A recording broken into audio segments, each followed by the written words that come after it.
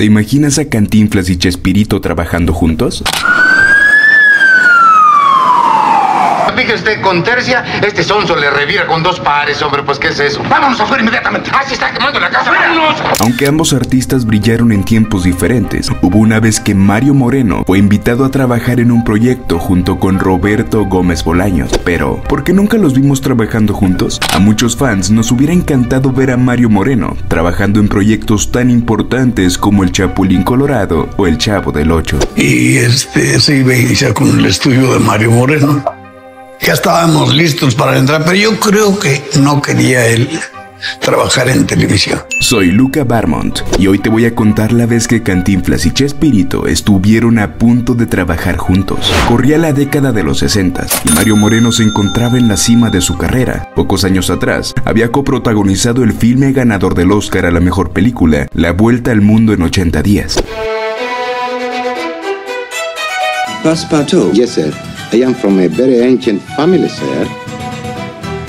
Professor of gymnastics. Yes, sir. No demonstration, please. En videos anteriores hemos hablado de que Mario Moreno fue el comediante mejor pagado del mundo en su tiempo y que incluso Charles Chaplin comentó que Cantinflas era el mejor comediante vivo en esa época. Bueno, comandancia de la jefatura de la policía local. ¿Está usted dormido? Pues no es muy temprano, señor. Pues eh, usted está para servir a la hora que sea, ¿no? Se trata de un robo, sí, señor. Por eso lo estoy llamando a usted. ¿Cómo los voy a agarrar? Pues deje que vengan las investigaciones para que yo explique. Mire, mire, ya no alegue más, ahorita salimos para allá. Mándeme de esos nuevos de uniforme azul, que son más impresionantes. ¿Me vas a mandar de los de kaki?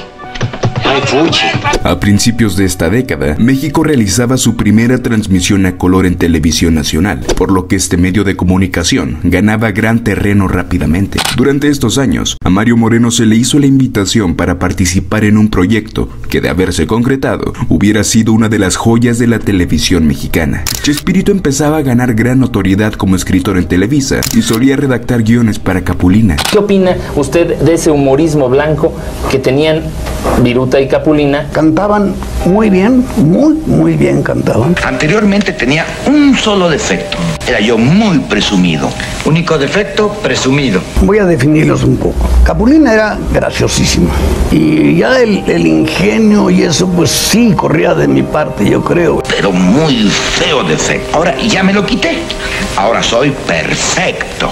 Fue Emilio Azcárraga Milmo, el apodado Tigre y dueño de Televisa, quien tuvo la idea de juntar al veterano y reconocido Mario Moreno con el novato de futuro prometedor Roberto Gómez Bolaños. Para estas fechas, Mario tenía 50 años de edad y Roberto apenas 32. Azcárraga encargó a Chespirito que escribiera un proyecto para presentarlo con Mario. La idea era continuar el estudio de Pedro Vargas, un programa donde se invitaba a un artista a cantar, pero ahora se llamaría El Estudio de Mario Moreno. Aunque también hay quienes llegan a especular que, de haberse concretado este acuerdo, Cantinflas pudiese haber aparecido como artista invitado en alguno de los futuros éxitos de Chespirito, como El Chapulín Colorado o El Chavo del Ocho. El mismo Roberto Gómez Bolaños reveló que ya había escrito un guion para presentárselo a Mario Moreno, pero que, por su reacción, sospechó que al chato no le interesaba trabajar en televisión, pues su verdadero fuerte era la pantalla grande. Hice un guion, era para continuar el estudio de Pedro Vargas que escribía yo.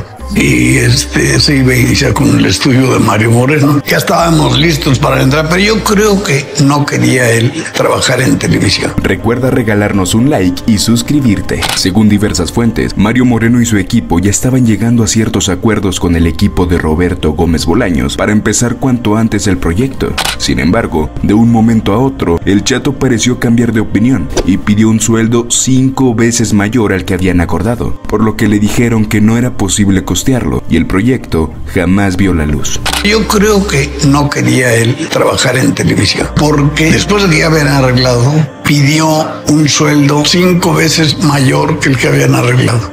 Ahí está la cosa. Allí está el detalle, sí, señor. Pues le dijeron que no. Y no se.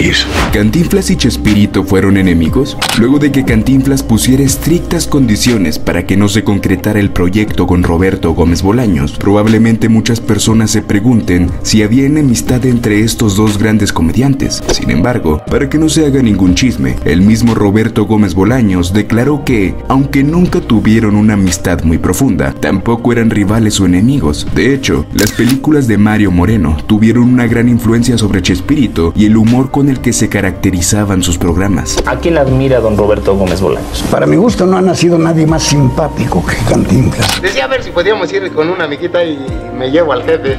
¿Eh? Y además era un excelente actor, era un gran actor. Era tan chistoso que no se daban cuenta del otro, pero era un gran actor. Ah, no, hombre, ni que fuera ya. Ya de plano tú que. ¿Eh? Sobre todo en la medida en que uno le creía todo lo que estaba haciendo o diciendo. No, no le hagas, ¿eh? Mi. Ay, mi. ¿Quién habla? ¿Eh? Su esposa. ¡Salgas inmediatamente! Incluso Roberto reveló que sentía gran admiración por el mimo de México y que su película de humor favorita es Ahí está el detalle. Ahí está el detalle, es mi película humorística favorita de todos los tiempos. Luego con él tuve pocos tratos, pero me gustaron mucho. Nadie me ha hecho reír tanto como Cantinflas en esa película. Como dato curioso, hay otra entrevista donde Chespirito afirma que ni siquiera Cantinflas lo hacía reír tanto como uno de sus compañeros de trabajo más queridos, Don Ramón. Nadie me hacía reír tanto como Ramón Valdés. Puede ser que ni Tintán, su hermano, ni, ni Cantinflas. Esta calavera significa. ¡Peligro! Él quería ganar su dinerito seguro para esto y lo otro y nada más. No, no tenía ambiciones artísticas, pero era excelente, excelente.